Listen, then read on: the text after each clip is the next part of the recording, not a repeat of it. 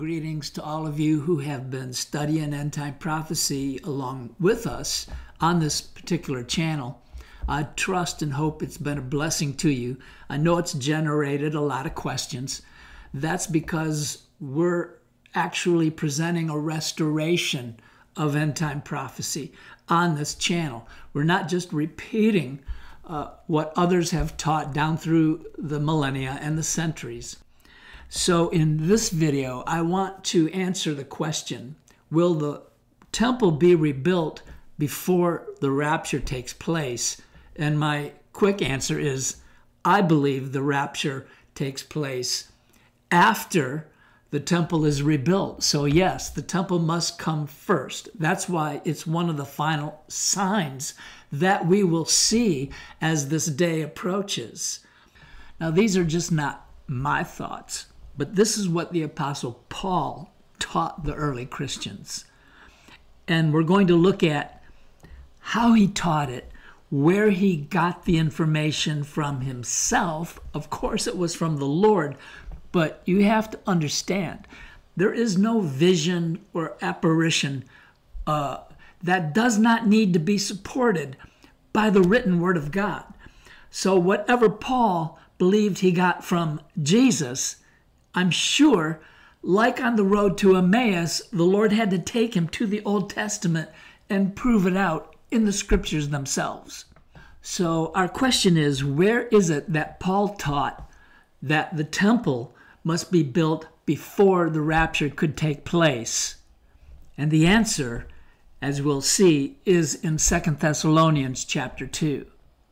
The next question is where did Paul get the information from the Lord when it was revealed to him? And the answer for that, as we will see, is Daniel chapter 8. So first let's go to 2 Thessalonians chapter 2. This is where Paul was teaching that the temple would already be in existence before the rapture happens, that the rapture can't happen unless the temple has been rebuilt. So let's begin together 2 Thessalonians chapter 2 verse 1.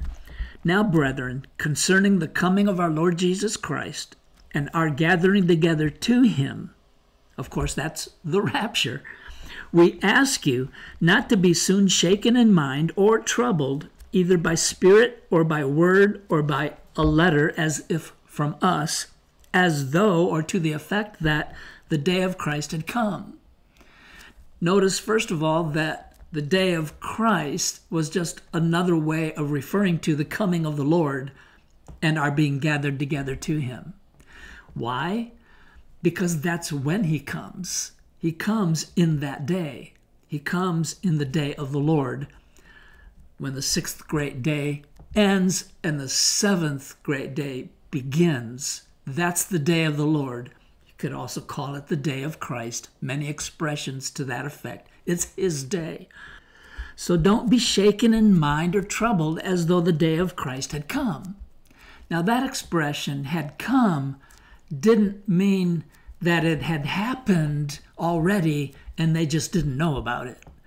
The expression rather meant that it was at hand, that his coming and the gathering of ourselves to him was about to happen. So he goes on to say, Let no one deceive you by any means, for that day, or his coming and our being gathered to him, will not come unless the falling away comes first and the man of sin is revealed, the son of perdition. Now let's just stop right there for a moment. Did you get the emphasis, the uh, emphatic truth of what Paul just said? In effect, he was saying the Lord can't come, the rapture cannot happen unless the man of sin is revealed. We'll get to the falling away in a moment, but Remember, it says, and the man of sin is revealed. So, right there, we know that the Lord cannot come, nor can the rapture happen before the man of sin is revealed. He's revealed first before the Lord comes and we're taken back with him to the Father's house. That's the truth of this passage. Now, the question we could ask at this point, which Paul will later answer, is what event causes the man of sin to be revealed? How will we know who he is? I mean, right now, this is 2024, the month of September. We don't know yet who he is. We know he's going to be the king of the north, referring to the area of the land of Magog or Turkey. We know that much, but we don't know his identity. And we won't know until it's time for him to be revealed. And then, when it is, how will we know? What event will reveal him to us? That's what you're going to learn in this video. So, as we keep reading, we'll build some foundation for this. Verse 4 says, or tells us what he eventually does, which is he opposes and exalts himself above all that is called God or that is worshiped, so that he sits in the temple of God, showing himself that he is God. Do you not remember that when I was still with you, I told you these things? And now you know what is restraining that he may be revealed in his own time. In effect, Paul was saying it's not time yet, for one thing. Um, that's a significant thought because they were still basically 2,000 years away from where we are right now. They had not fulfilled or come to the end of the sixth great day from the creation of Adam. So Paul is telling them there is a time, and we're not there yet. And there's also things that have to happen, and we haven't seen them yet. Now, it's important to understand that when Paul wrote this letter to the Thessalonians, the temple of Jesus' time had not yet been destroyed. He wrote this letter before 70 AD. But he knew it would be destroyed. How did he know that? Because Jesus had pronounced desolation upon that temple, that not one stone would be left standing. So the revelation here is by Paul ascribing the time of this man to some future time that had not yet come. He understood and was acknowledging that in our time, as the return of Christ draws near, another temple will be rebuilt. And this is the temple that the Antichrist will desecrate and sit in and declare that he is God. But here's the question Is that the event that will reveal who he is? Is that how we will know who he is? And the answer is no. We will be gone before that happens. And this is the beauty of Paul's teaching. He's going to answer the question then what event specifically will enable us to recognize this man of sin, know that it's him, and yet that event will be so powerful that it will cause the coming of the Lord and the rapture to happen before this Antichrist can actually sit in the temple and declare that he's God. In other words, we'll see just the very beginning, but we will not be here for his final three and one half years, in which he imposes the mark of the beast and the image of the beast and so forth. Would you like to know what event that is? Well, you have to keep reading and you have to follow what Paul was teaching and even better understand where he got the revelation that he's teaching them. So, to understand that, let's just skip ahead a few verses, and Paul's going to reveal where it was that he got this. So, skip ahead to verse 8, where he says, And then the lawless one will be revealed. Get this part, whom the Lord will consume with the breath of his mouth and destroy with the brightness of his coming. This is not any ordinary man, and his destruction or demise does not come in any ordinary way.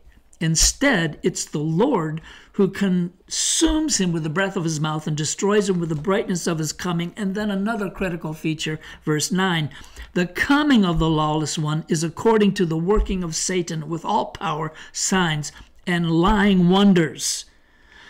Now, if you have a good cross reference Bible, or if you study enough to know where to go, if that doesn't sound familiar to you, you can check it out with the cross references. Find the connections. That's what I tell people when you're studying. You need the connections, you need the bridges that take you from this revelation to its counterpart somewhere else. It's a piece of the puzzle over here, and you need to find the piece that goes next to it. That's the connections. That's how you put the puzzle together. That's how Scripture interprets Scripture, so we don't have to just depend on someone's opinion. Hallelujah. So when we find and the bridge and follow it we come to Daniel chapter 8, which I'll read this and see if it doesn't sound familiar, what Paul was just teaching, because this is where he got it. It says, In the latter time of their kingdom, this is Daniel 8, verse 23, when the transgressors have reached their fullness, a king shall arise, having fierce features. He understands sinister schemes. His power shall be mighty, but not by his own power.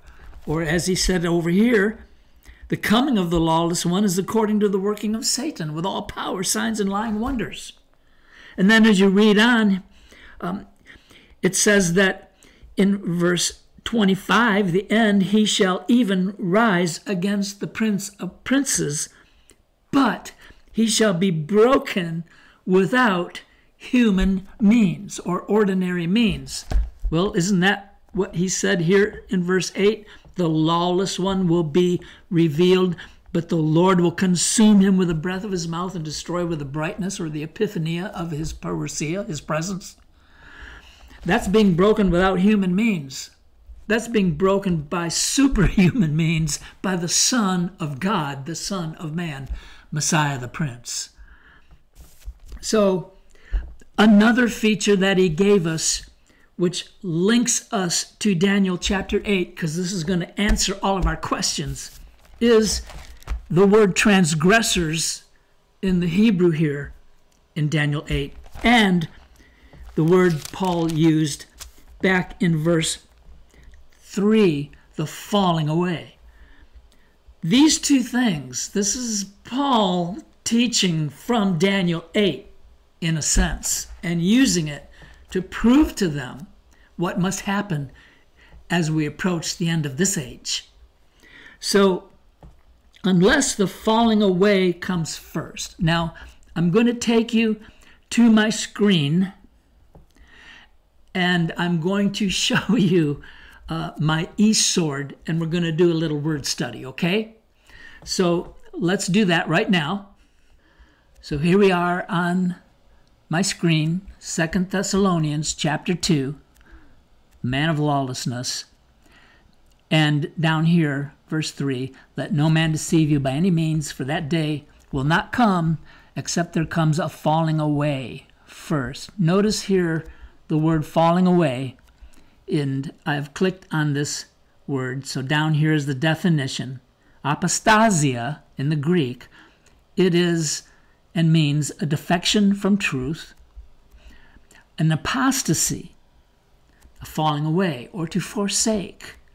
Interestingly, there is another insight here that it is the feminine form, this word apostasia is feminine of this word, which means the same thing, which signifies something that has separated, or in particular, a divorce, a divorcement. Well, isn't that what the children of Israel did? Jesus said, You will not see me again until you say, Blessed is he who comes in the name of the Lord. I came to my own, but my own did not receive me. We all know that they were married, in a sense, to Jehovah, but they rejected his son, they rejected the Messiah. And so they were divorced. As in the story of Esther, the king found another wife. And that's the bride, that's the church of Jesus Christ. Now, keep this in mind the word apostasy, because now we're going to go to our bridge and we're going to go to Daniel and we're going to go to chapter 8 and we're going to scroll down till we come to the part about the transgressors right here, verse 23, and the latter time of their kingdom when the transgressors, if I click on this, notice Pasha, a primitive root, means to break away from just authority, that is to trespass. And here it is to apostatize, to revolt, rebel. In other words, Paul chose a word in his letter to the Thessalonians that meant an apostasy and then found the same Hebrew word to roughly mean the same thing. Here in Daniel 8, the word transgressors in the English is and means an apostasy. So, what is the purpose of this? It is a bridge. He is linking us by the revelations he's teaching from this vision and by the words he's using. In essence, he's saying, Go to Daniel 8. This is where the Lord taught me. And this will answer your question What is it that reveals the man of sin even before he sits in a rebuilt temple? What is it? Well, when we study the vision in Daniel 8, which, if you're listening to those from the past, and if you're just parroting what others have taught, they will tell you this is a vision already fulfilled in the past by a Greek general, Antiochus Epiphanes. But I think I've shown you that, that the Apostle Paul, one who knew the history of his own people better than anyone today, he understood this vision to be about a future man of sin, whose power was not his own, and who was not destroyed by human means. He understood this vision to be about the coming Antichrist. And he's pointing us, he was pointing the Thessalonians to this passage so that we could understand how, under what circumstances, is the man of sin revealed to us, the church, so that we can't be deceived. Well, when we study this out, we find that it's all about this little horn, and in verse 11, he exalts himself as high as the prince of the host. By him, the daily sacrifices were taken away, and the place of his sanctuary was cast down. Wait a minute. That would mean that in our time, because Paul is talking about our time, a future time of the man of sin, when the coming of the Lord will destroy him, that in that time there will be a sanctuary, a rebuilt temple. There will be daily sacrifices happening. If you remember what he said, that day, his coming, the rapture, will not happen unless the apostasy comes first and the man of sin is revealed. What's the significance of this apostasy? Why is it such a transgression in God's sight? Why does the interpretation of the vision say in verse 23 when the transgressors, when the apostates have reached their fullness, their completion. Well, think about it. We know who fell away. The falling away of the Jewish people, even though there's coming a time when their blindness will be restored as a people. Nevertheless, they're falling away. Through their fall, riches came to us, the Gentiles, right? But what is it that completes their falling away to its final point? Is it not, as we hear today, that they want to go back and rebuild a temple? And our question would be why do you need a temple? God's got a living temple. You can be part of it. You can be a living stone in that temple, the foundation and the capstone is the Messiah Prince. Oh, I see. But you don't believe that Jesus of Nazareth, Jesus the Christ, who died on a cross for all of our sins, who was raised from the dead by the glory of God, you don't believe that he's the Messiah? So instead, you're going to build another temple and go back to the blood of lambs and goats and cows and sheep? Because the Lamb of God, his blood is not good enough for you?